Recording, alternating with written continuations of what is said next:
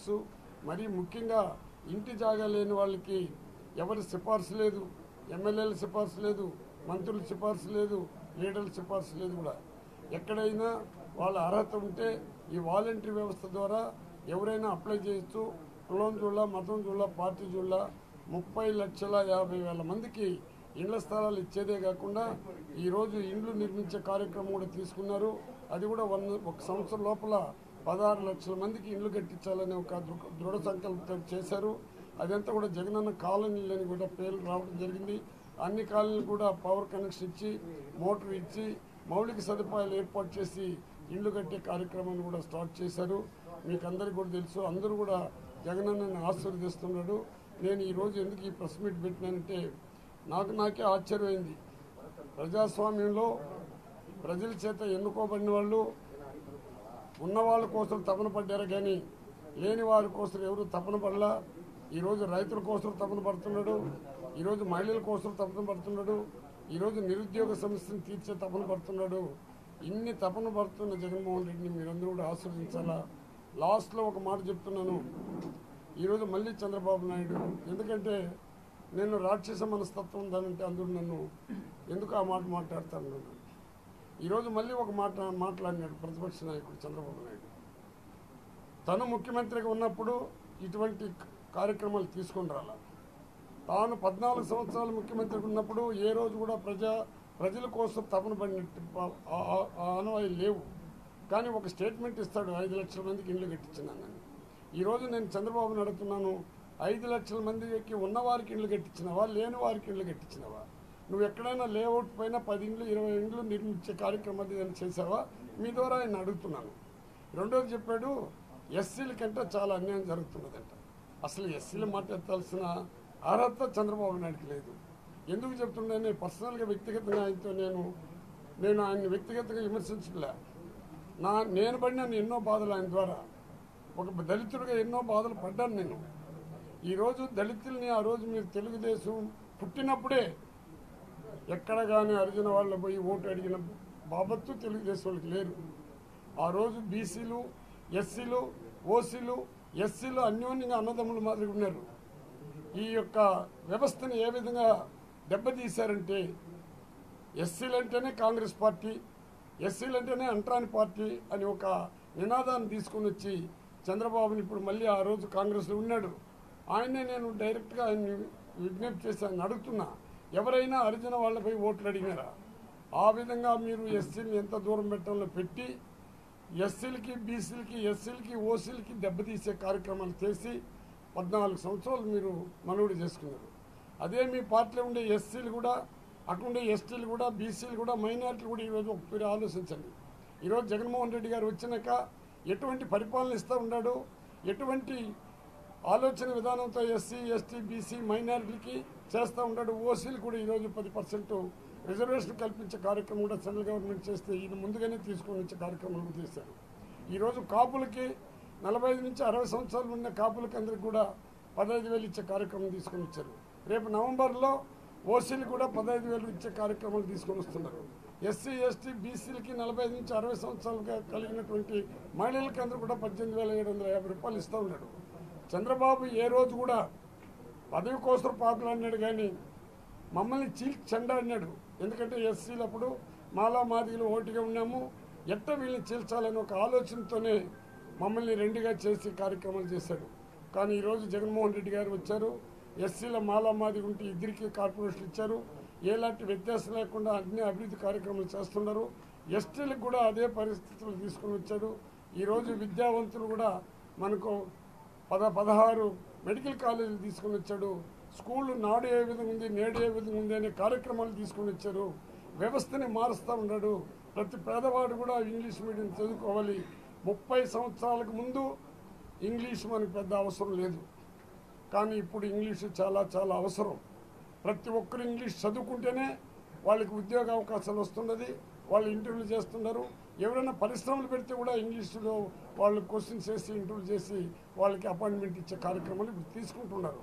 అందువల్ల మనం ఇంగ్లీష్ చాలా ఇంపార్టెంట్ కాబట్టి ఉన్నవాడి కోసం ఇంగ్లీష్ మీడియం పెట్టినారే కానీ లేనివాడి కోసం ఇంగ్లీష్ మీడియాలు పెట్టలేదు ఆ రోజు.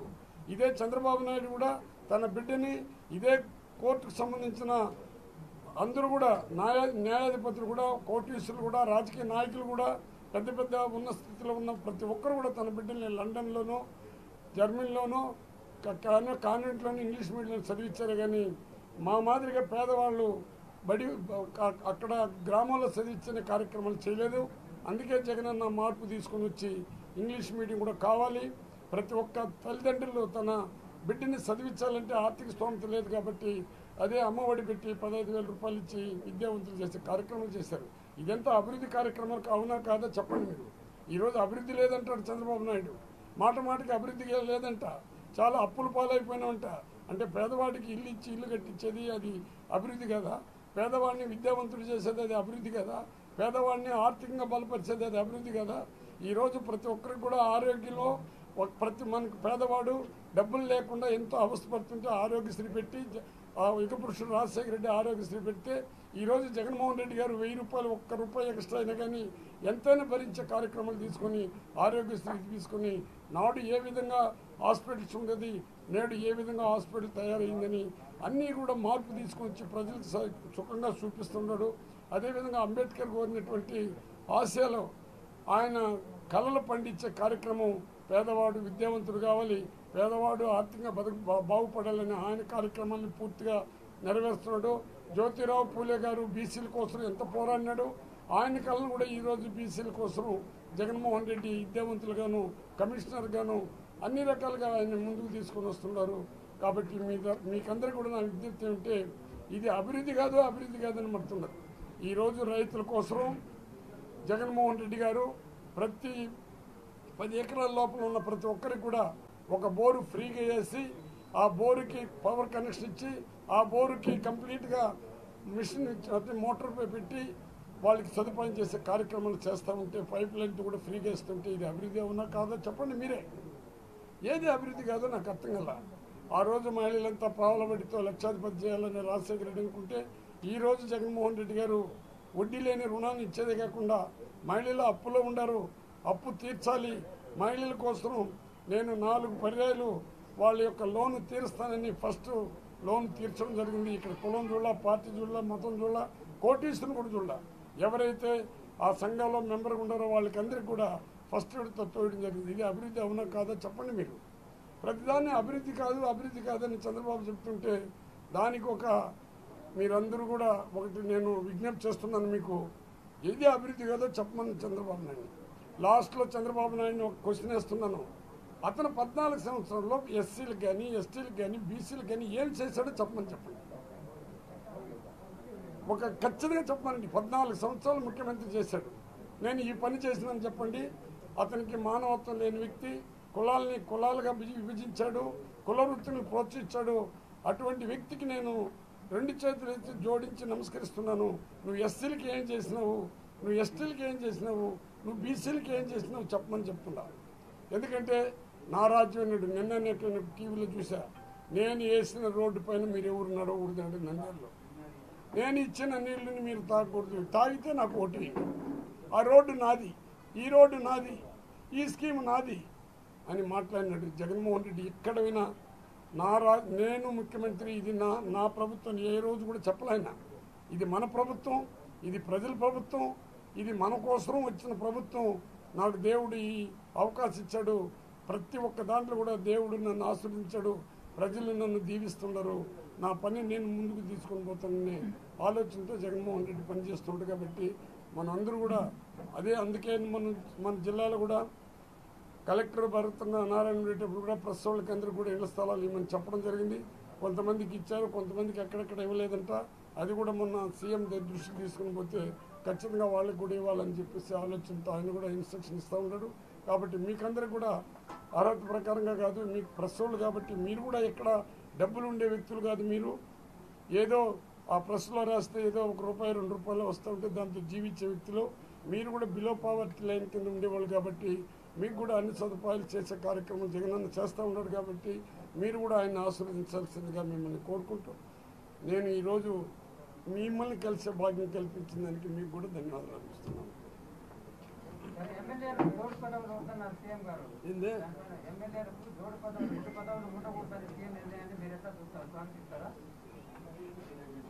ఇప్పుడు జగన్మోహన్ రెడ్డి గారి నిర్ణయాలు ఎట్లున్నదంటే ఏదంటే నేను ఒకటి మొన్న మాట్లాడుతూ మాజీ ముఖ్యమంత్రి చంద్రబాబు నాయుడు అసెంబ్లీలో రెండు వేల పద్నాలుగులో నేను కూడా ఎమ్మెల్యేగా ఉన్నాను. వారు మాట్లాడుతూ నాకు ఓటు వేయని వాళ్ళకి నేను పని చేయాల్సిన అవసరం లేదు. నాకు ఓటు వేసిన వాళ్ళకే పనిచేస్తాను అందుకే నేను ఈ కమిటీ కూడా పెట్టినాను జన్మభూమి కమిటీని. దాని ద్వారానే అభివృద్ధి అవుతుంది. నాకు ఎక్కడైతే ఏ జిల్లాలో ఓటు వేశారో ఆ జిల్లా వాళ్ళతోనే ఉంటాను. నేను బీసీలు ఓటుతో గెలిచినోడు కాబట్టి నేను బీసీలకి సేవ చేస్తానని కూడా అసెంబ్లీ చెప్పినాడు. దాన్ని నేను మాట్లాడితే మాజీ మంత్రి అనేదాన్ని తీసేసి చంద్రబాబు ముఖ్యమంత్రి అయినాడు చంద్రబాబు ముఖ్యమంత్రి. దీన్ని రోజు రెండు రోజులు వేసుకుంటూ వచ్చేస్తారు మిమ్మల్ని నా రిక్వెస్ట్ ఏమంటే నేను ఏదైనా పొరపాటుగా మాట్లాడినప్పుడు మీరే నన్ను అడగండి. దానికి ఖచ్చితంగా జవాబు చెప్తా. ఇప్పుడు మీరు రెండు జగనన్నన్ గురించి మీరు పూర్తిగా అవగాహన ఉంది మీకు. అవినీతి రాజ్యం ఉండకూడదు. అవినీతి అనేది దేశంలో కనబడకూడదు. ఒకవేళ ప్రజాస్వామ్యంలో లీడర్లో ఎమ్మెల్యేలో మంత్రుల్లో ఉంటే కూడా పేదవాడికి పోవాల్సినటువంటి నవరత్నాల్లో ఉండే ఆలోచన విధానాన్ని డైరెక్ట్గా వాళ్ళ ఖాతాలోనే పడాలా వాళ్ళ అకౌంట్లోనే పడాలని ఉద్దేశంతోనే ఎవరు కూడా మంత్రిని కానీ ఎమ్మెల్యేని కానీ లీడర్లకు కానీ అర్జీలు లేకుండా చేసే ప్రభుత్వం మనకు వచ్చింది ఇప్పుడు. పేదవాళ్ళ కోసం అది మనకు స్వతంత్రంలో వచ్చినాక గ్రామ స్వరాజ్యం తీసుకొని వచ్చాడు సెక్రటరేట్ తీసుకుని వచ్చాడు. వాలంటరీ వ్యవస్థ తీసుకుని వచ్చాడు. ఒక్కొక్క వాలంటరీకి యాభై ఇండ్లు ఇచ్చాడు. నేను మొన్న అందరూ వాలంటీర్ని పిలిపించి మండల వైజ్గా రోజుకొక మండలానికి పోయినప్పుడు ఆ వాలంటీర్లు అడిగినప్పుడు వాళ్ళకి యాభై ఇండ్లలో ఎవరెవరికి ఏమేమి చేస్తున్నారు ఎవరెవరు ఏ విధంగా అవసరపడుతున్నారు అని వాళ్ళని అడిగితే పేలుతూ కూడా చెప్పే రాజ్యాన్ని తీసుకుని వచ్చినాడు జగన్మోహన్ రెడ్డి గారు. అందుకే నేను మీకు చెప్తున్నాను పదవులు అనేది ఆయన ఇష్టం. ఒక ముఖ్యమంత్రి అడ్మినిస్ట్రేషన్లో పదవి రెండు ఉండాలన్నా ఒకటి ఉండాలనేది నిర్ణయం ఆయన తీసుకుంటాడు. కానీ ప్రజలకు సౌకర్యం చేసే నిర్ణయం కూడా ఆయనే తీసుకున్నాడు. ఈరోజు మాకు కానీ అధికారాలు ఇచ్చుంటే త- మీరు తప్పుగాని కూడా నా పైన రాయండి. మాకు ఎవరు ఓటు వేసినారో మమ్మల్ని ఎవరు ఆదరించినారో వాళ్ళకి ఇళ్ళ స్థలాలు ఇచ్చుంటాము ఆ వ్యవస్థను పోగొట్టాడు జగన్మోహన్ రెడ్డి గారు. ఈరోజు మాకు ఓటైన వాళ్ళు కూడా వాళ్ళు మనకు ఓటు వేయలేదని మా లీడర్లు వచ్చి వాడికి ఇంటి జాగాలు ఇవ్వకూడదంటే అది మన చేతిలో లేదు. వాడికి అర్హత ఉందా? వాడు ఏ క్యాస్ట్? వాడు ఏ ఊరు? వాడు ఏ పార్టీ అనే పరిస్థితి లేకుండా అర్హత ఉన్న ప్రతి ఒక్కరికి కూడా ఇంటి స్థలాలు ఇచ్చి దాదాపు మనకు పదిహేడు వేల కాలనీళ్ళు జగనన్న కాలనీలు ప్రత్యేకంగా పట్టణాలు ఏర్పాటు చేసే కార్యక్రమం జగన్మోహన్ రెడ్డి చేస్తున్నాడు దీనికి మించిన రాజకీయ నాయకుడు ఎవరో నాకు అర్థం కదా అన్యాయం ఎక్కడా జరగల. ఒకవేళ అది కూడా మళ్ళీ చెప్పాడు మొన్న ఆయన జగన్మోహన్ రెడ్డి గారు. ఎవరైనా అర్హత ఉంటే ఈ కరోనా పరిస్థితిలో మనకు ఆర్థిక వ్యవస్థ చితలాపతలైనా కానీ మనకు సెంట్రల్ గవర్నమెంట్ నుంచి మనం విడిపోయినప్పుడు మనకు రావాల్సిన ఫండ్స్ రాకపోయినా అనేక రకాలైన ఇబ్బందులు ఉంటే కూడా ఈరోజు ఆయన ఈ నవరత్న ఈ సంక్షేమ కార్యక్రమంలో ఎక్కడ భయపడకుండా ఎవరికైనా అర్హత ఉంటే మళ్ళీ మీరు ఆన్లైన్లో బుక్ చేసుకోండి. తొంభై రోజుల లోపల మళ్ళీ మీకు ఇళ్ళ స్థలాలు ఇచ్చి కట్టించే కార్యక్రమం చేస్తున్నాము. దీనికి ఎవ్వరూ అడ్డుపడకూడదు నేను. ఈరోజు కార్పొరేషన్ గురించి కూడా నేను ఎందుకు పడుతున్నానంటే అందరూ అనుకుంటున్నారు నారాయణ స్వామి చెప్తే ఒకరికి వచ్చింది సుబ్బయ్య చెప్తే ఒకరికి వచ్చింది. ఆయన లిస్టు చూసినప్పుడు నాకు ఆశ్చర్యం తనతో ఎవరైతే తిరిగినారో మొదటి నుంచి మేము ఎవరైనా పేర్లు ఇచ్చింటూ కూడా ఆ పేర్లో తనకు ఉపయోగపడిన వాళ్ళు తన పార్టీకి ఉపయోగపడిన వాళ్ళు అందరూ ఉన్నారు చాలామంది ఉండరు. అంటే ఇప్పుడు వచ్చిన వాళ్ళే కాదు. చాలామంది ఉంటారు కానీ కార్పొరేషన్ అన్నప్పుడు నూట ముప్పై ఐదు అంటే నూట ముప్పై ఐదు మందికి ఇస్తాం కాబట్టి అందరికి ఇవ్వలేము. కానీ ఈ నూట ముప్పై ఐదు మందిలో కూడా ఎవరైతే ఈ పార్టీని భుజస్కంధాల పైన వేసుకొని ఆ రోజు ఆయన ముఖ్యమంత్రి కాకముందు ఆయన పార్టీ పెట్టినప్పుడు ఎవరెవరైతే ఉన్నారో వాళ్ళందరికీ అది మా రికమెండేషన్ ఉండొచ్చు నీ రికమెండేషన్ ఉండొచ్చు ఇంకొక రికమెండేషన్ ఉండొచ్చు ఇంకొక రికమెండేషన్ ఉండొచ్చు. మీరు కావాలంటే చరిత్ర చూడండి. ఎవరైతే కూడా ఉన్నారో మొదటి నుంచి కూడా వాళ్ళకి ఇచ్చినారే కానీ మేము ఎక్కడో పని మాకు పని చేయని వాళ్ళు అని కాదు ఇంకొకరికి కాదు కష్టపడిన వ్యక్తులకి కార్యకర్తలకి లీడర్లకి ఈ పొద్దు ఈ ప్రజాస్వామ్యంలో న్యాయం జరిగిందని మాత్రం నేను గర్వపడుతున్నాను. అందుకే జగన్మోహన్ రెడ్డికి నేను ప్రత్యేక అభినందనలు చెప్తున్నాను కమర్షియల్ ట్యాక్స్ని రెవెన్యూ తీసేసి ఫైనాన్స్కి ఇచ్చారు. దానివల్ల ఉపయోగం ఏంటి? సార్ ఇప్పుడే నేను మీకు చెప్పాను సార్.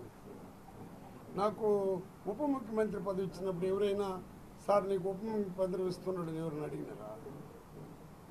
ఆయన ముఖ్యమంత్రి ఆయన ఎప్పుడు ఏ నిర్ణయాలు తీసుకున్నా అది ప్రజల కోసం ఈ ఈ వ్యవస్థని బాగుపరిచే దానికోసం రకరకాలైన ఆలోచనతో మా అడ్మినిస్ట్రేషన్ జరుపుతూ ఉండదు అంత మాత్రాన సార్ ఇది ఫైనాన్స్ పోతుంది.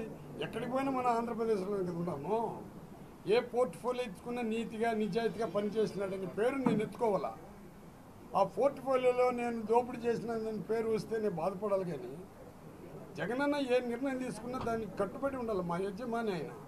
నేను సేవకుడు. సేవకుడు యజమాని ఏ నిర్ణయం తీసుకున్నా ఏ నిర్ణయానికి ఉండాలా? నాకేమైనా తెలుసు చరిత్ర నేను సృష్టించాడు ఆయన. ఎస్సీని రిజర్వే ఉప ముఖ్యమంత్రి చేసినాడు. ఈ చరిత్ర ఇంకెవడు తిప్పలేడు. ఎవరు మాట్లాడినా నారాయణ స్వామి ఉప ముఖ్యమంత్రి అనే పది పది- అనే పని ఈ రోజు వరకు వస్తూ ఉంది.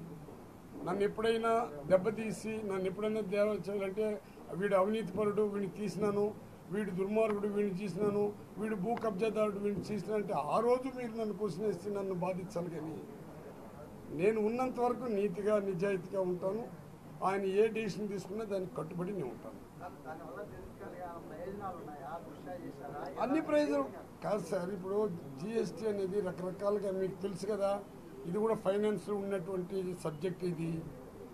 ఎనిమల్ ర్యాంక్స్ కూడా ఉండింది రకరకాల ఎన్నో మంది దగ్గర ఇది ఉండింది బట్ ఫైనాన్స్లో ఉంటే దీనికి ఒక అక్కడికి ఢి- ఢిల్లీ నుంచి కూడా ఫైనాన్స్ మినిస్టర్ దగ్గరనే ఉంటుంది జిఎస్టీలంతా అందువల్ల ఆలోచించుంటాడు ఆయన. ఆయన ఏం నిర్ణయం తీసుకున్నా దానికి కట్టుబడి ఉండాలి కానీ ఇది నీ దగ్గర నుంచి పోతుందే. నువ్వేమైనా బాధపడుతుంది నాకు బాధ అనేదే లేదు. ఇది వచ్చిందే ఈ మంత్రి పదవి వచ్చినప్పుడే నాకు మంత్రి పదవి వచ్చిందని నేను పెద్దగా సంతోషపడ్డా నాకు ఉప ముఖ్యమంత్రి పదవి ఇచ్చినారని కూడా పెద్దగా హ్యాపీగా ఫీల్ కాల. కానీ ఒకటే మాత్రం ఫీల్ అయినా.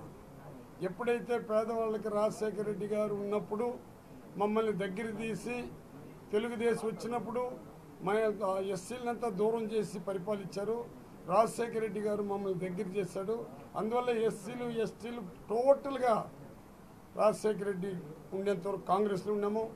ఆయన పోయినాక ప్రజలందరూ మా క్యాస్ట్ అంతా కూడా జగన్మోహన్ రెడ్డి తన పుత్రుడిగా వచ్చాడు మమ్మల్ని ఆదరిస్తాడని చెప్పేసి మేము మొత్తం కూడా జంప్ చేయడం జరిగింది. కాంగ్రెస్లో మాకు చేసినంత ఆ రోజుల్లో ఇందిరాగాంధీని మెచ్చుకున్నాము. మళ్ళీ రాజశేఖర రెడ్డి వెంటబడ్డాము.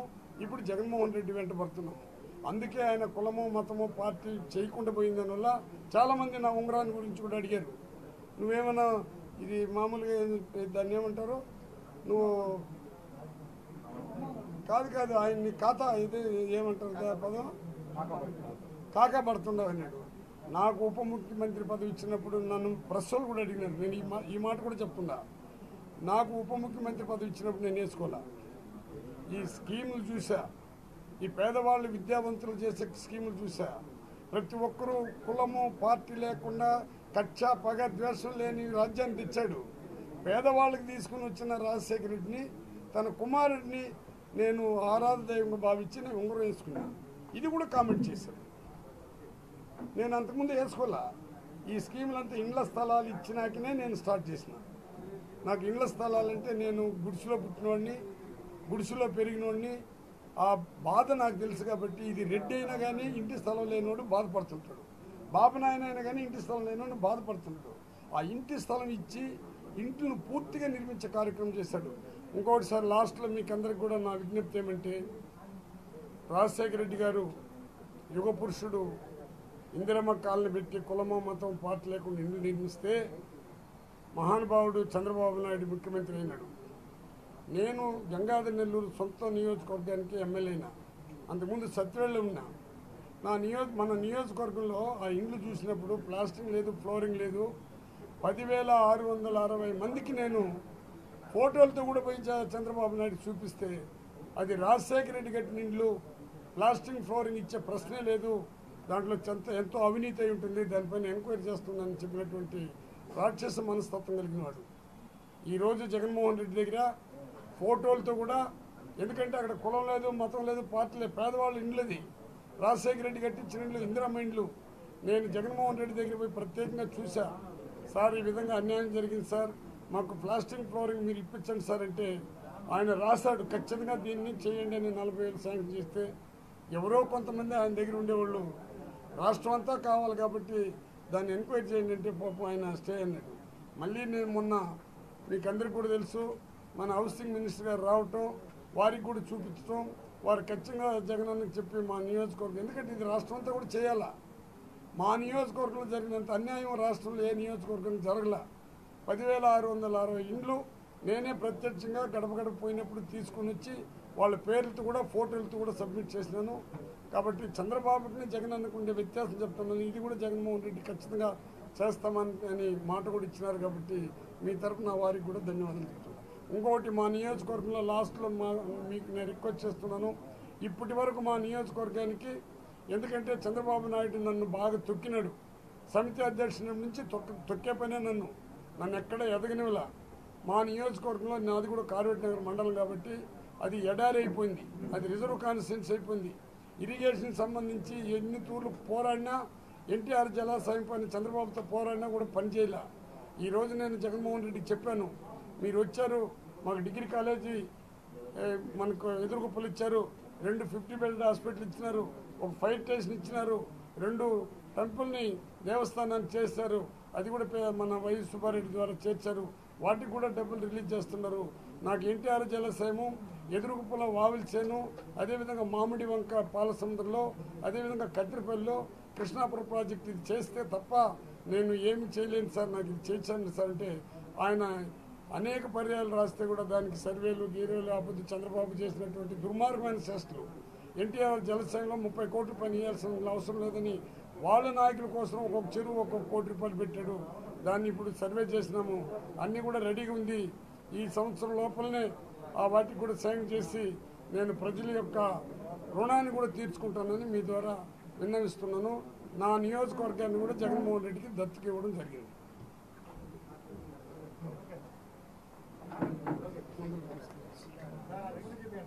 ఆ? ఇంకా. మళ్ళీ నేను మీ- నేను చూపించి ఇది అడ్వర్టైజ్మెంట్ చేసుకున్నాను అనుకోపోతారు సార్.